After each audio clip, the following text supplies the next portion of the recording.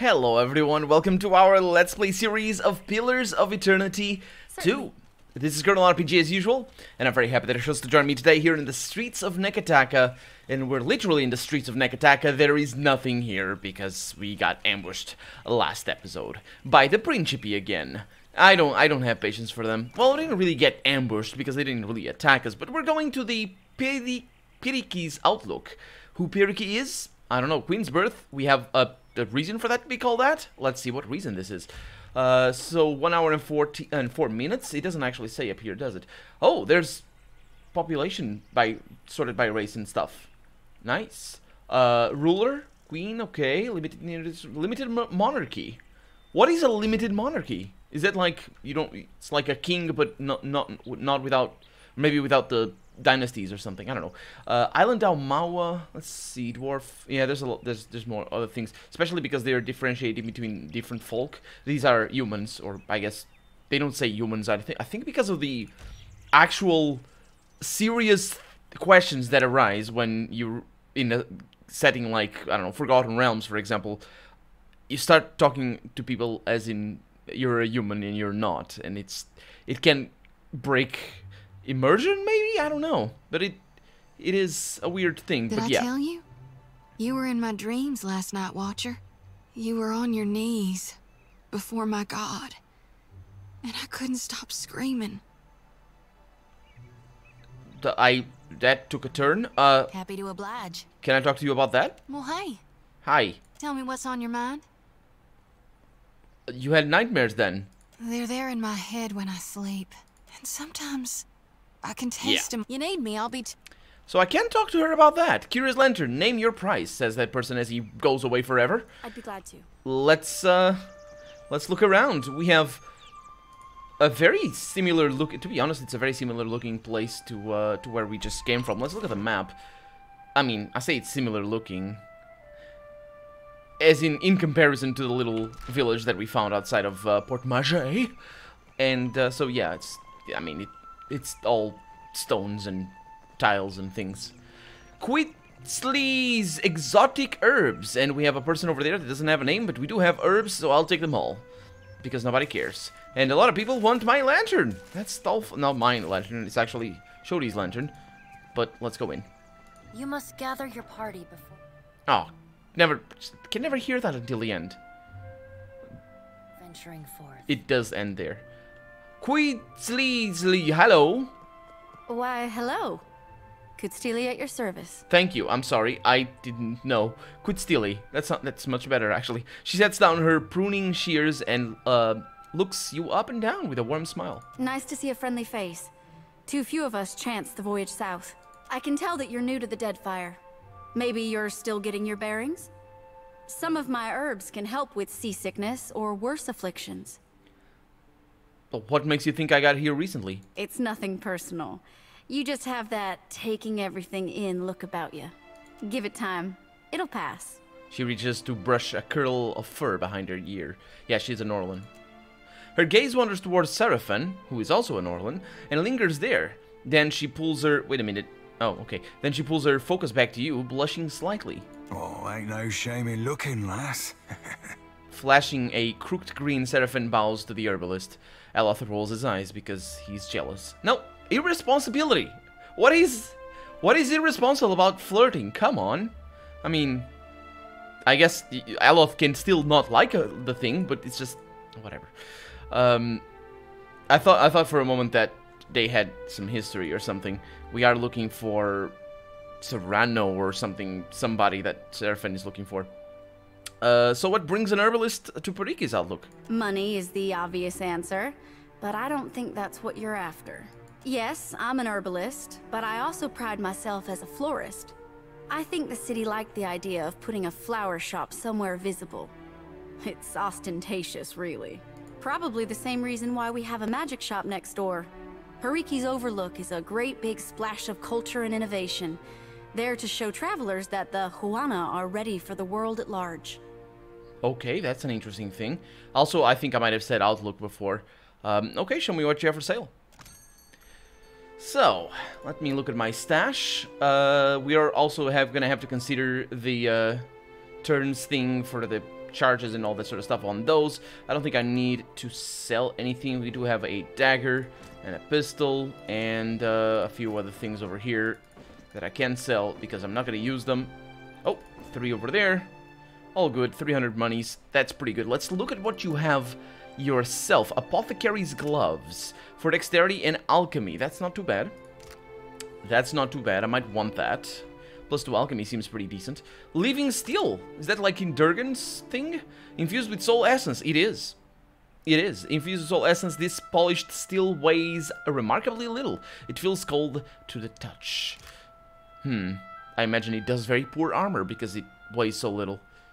But then again, uh, the weight of an armor is directly related to how much it spreads the, the, the blow on some types of attacks, but not on all of them. Light armor is pretty decent to have, of course. And leaving iron, apparently it's just, yeah, they're just making all the soul infusing of this stuff.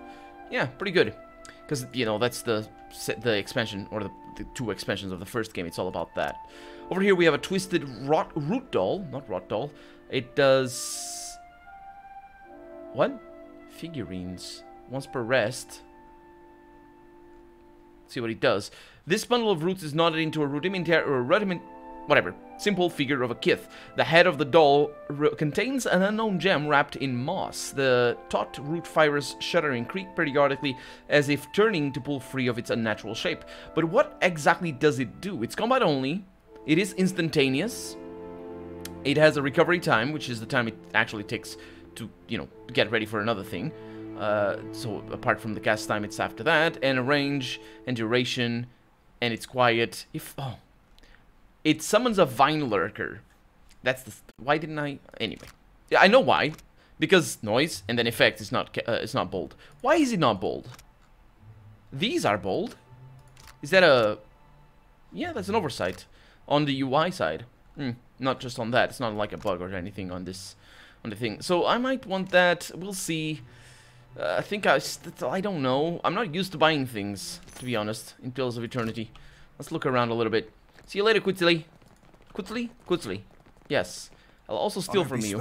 we could uh, blow it out. Swapped and sparked. Let's see what we have. Oil of Allure. Mm-hmm. And uh, a hat. A broad-brimmed hat. Well, I'm sorry I stole from you, but it doesn't matter. So I didn't really steal from you. I just got some items because I came here. Because that is the way you metagame. Because it really doesn't matter. Well, I mean, it might matter to some people. Best deals at the Dark Cupboard. Master gets angry if you don't say that. Oh, what? I can't talk to the imp. Wait a minute, an imp? An imp?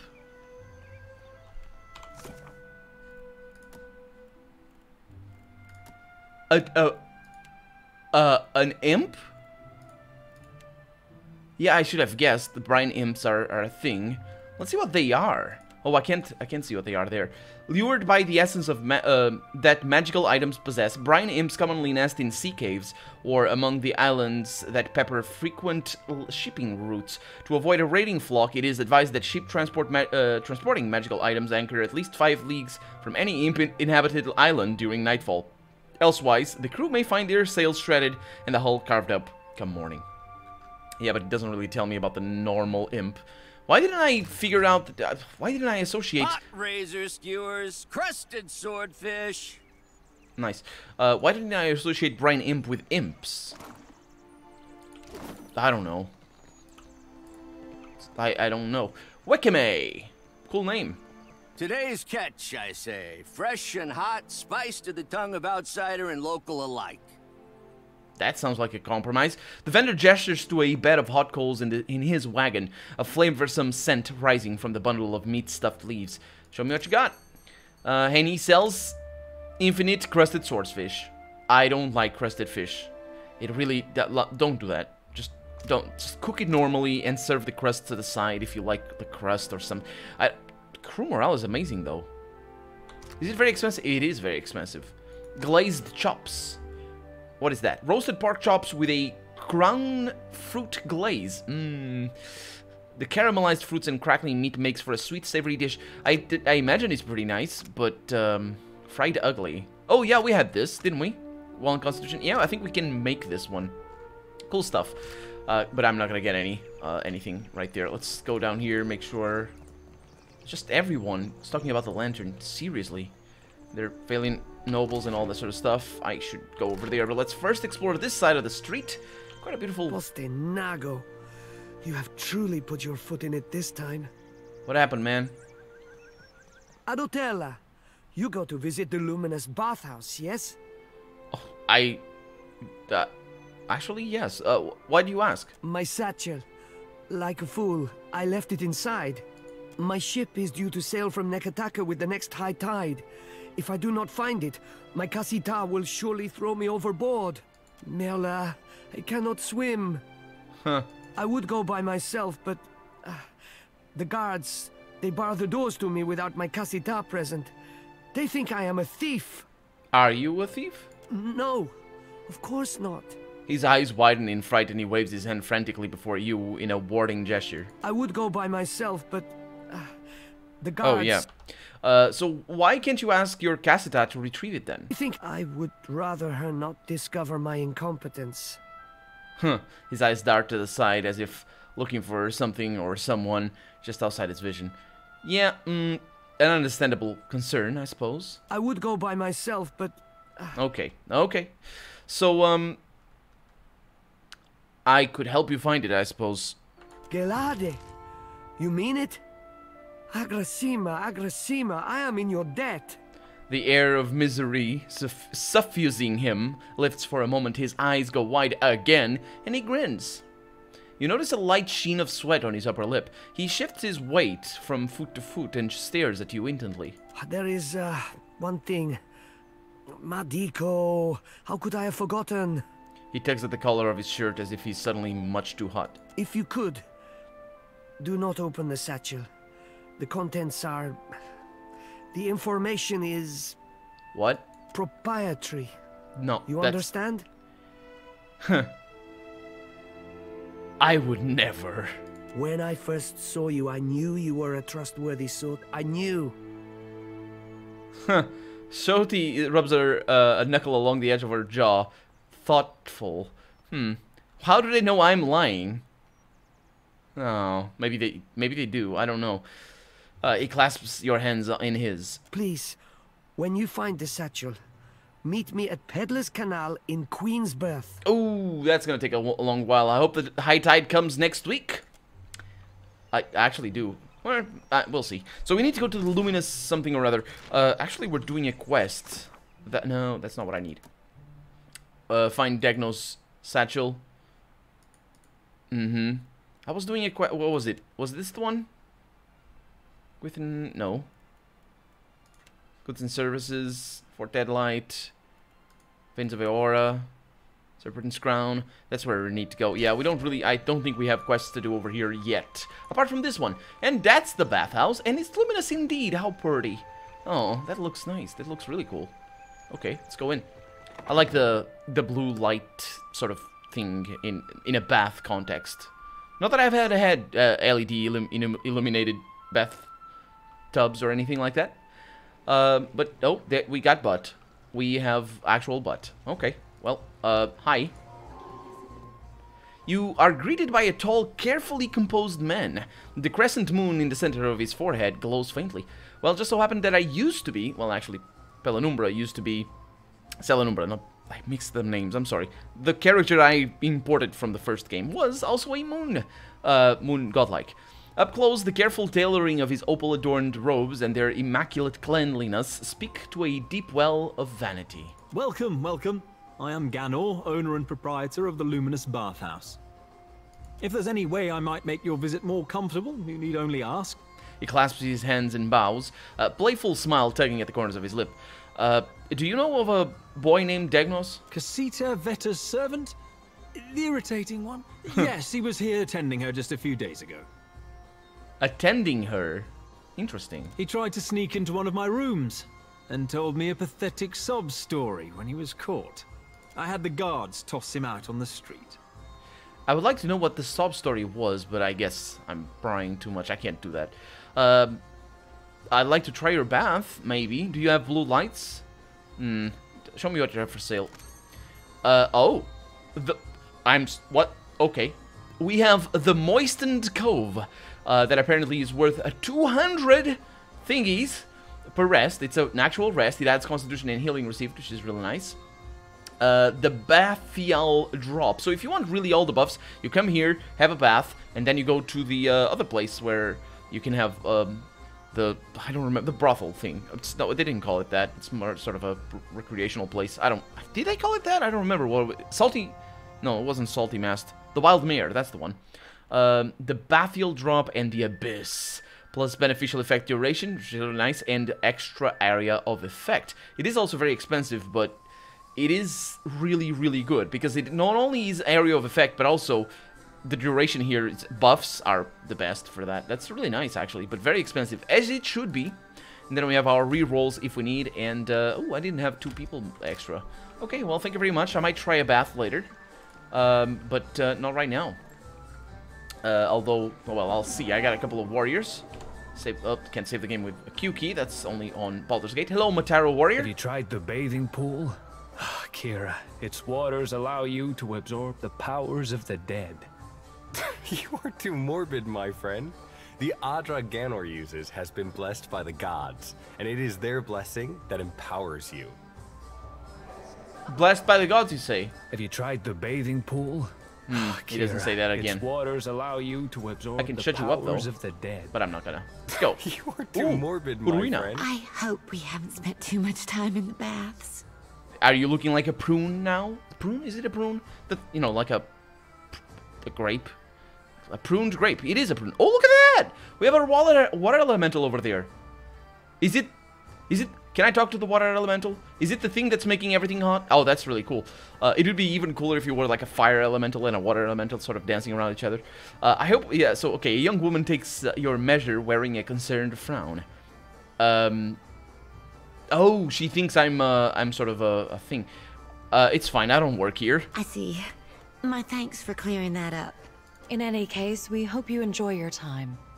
Thank you. Her companion stubbly tips her head to shoo you away. Uh, I, what brings you to the bathhouse? I am helping Herwina to conceive.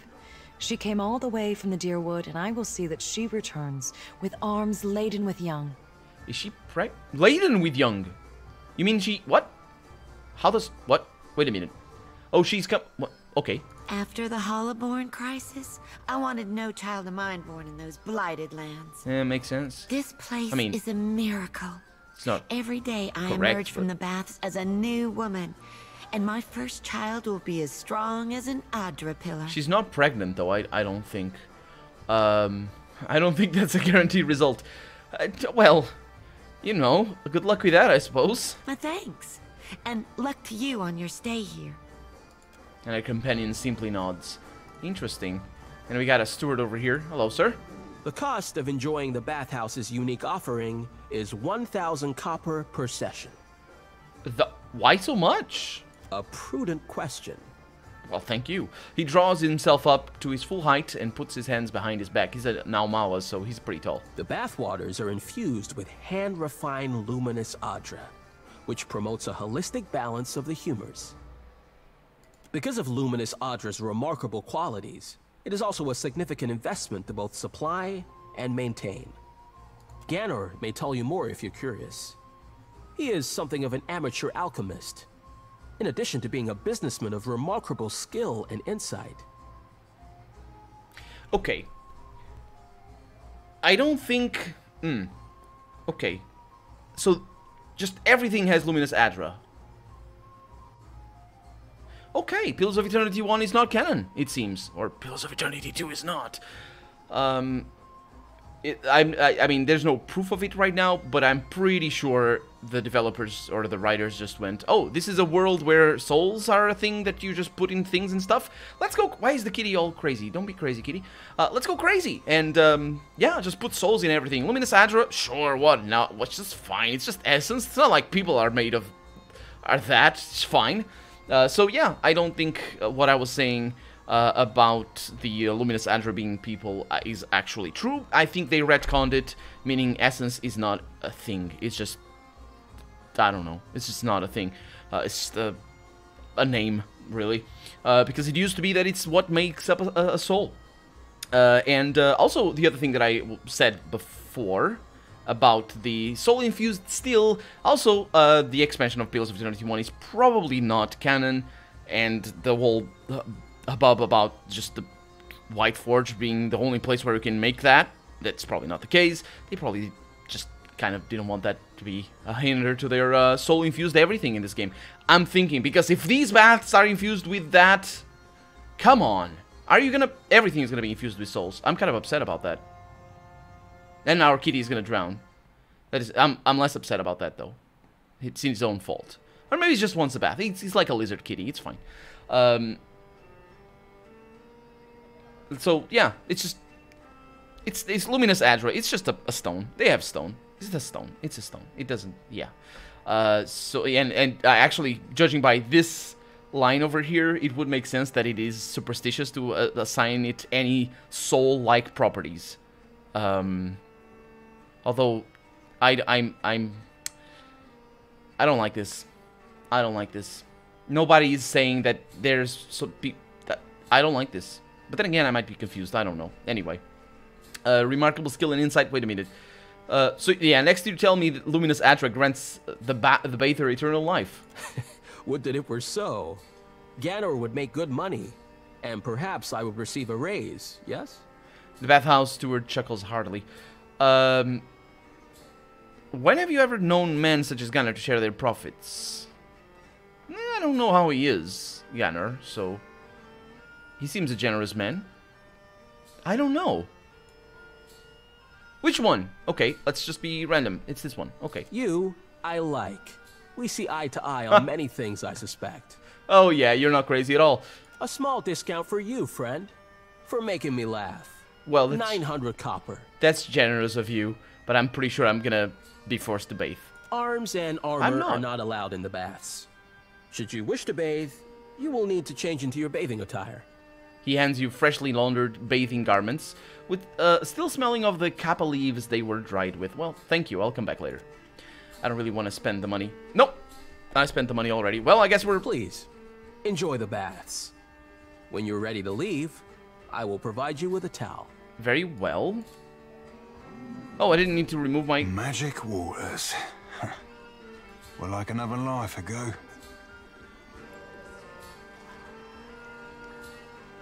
Well, that's the bath. No frolicking, no nothing. I've lost five bathing attires, but at least I bathed. And look at that! We got all the things. Uh, plus one max in power points, which is nice. Plus one maximum discipline as well, so that's pretty good as well. And it's different on different people. Plus one cast with level 1 Chanter spells, and plus one casts with uh, level 1 Druid spells. So that's also really nice. Do you get the wizard spells? Yeah, and you get the uh, priest spells. Everybody gets their thing. And you got cipher spells. We got all the spells, don't we? Yeah, he doesn't have spells though. Uh, well, but then again, I mean, I didn't, I didn't want to waste the money.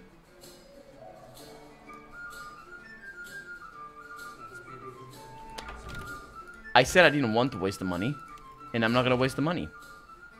I'm not even gonna take the bath. Screw you, you jerk. What a jerk. What a freaking jerk. Charged me twice? What a freaking jerk. Honestly. Okay, let's go through this dialogue again, I just in we case. Spent too much time. I see. In any case, we hope you. I am help. After the, this place is my thing. There we go. So, just in case that matters for anything. I'm Rayo. Did I talk to you? I don't remember that. Hi. Is this your first time to the baths? An old man stretches his arms over his head and yawns, making a show of displaying his moistened physique. Um, looks like someone needs a nap. Yeah, I haven't been in the waters yet. Ah, the cost is high, but so are the delights. I what?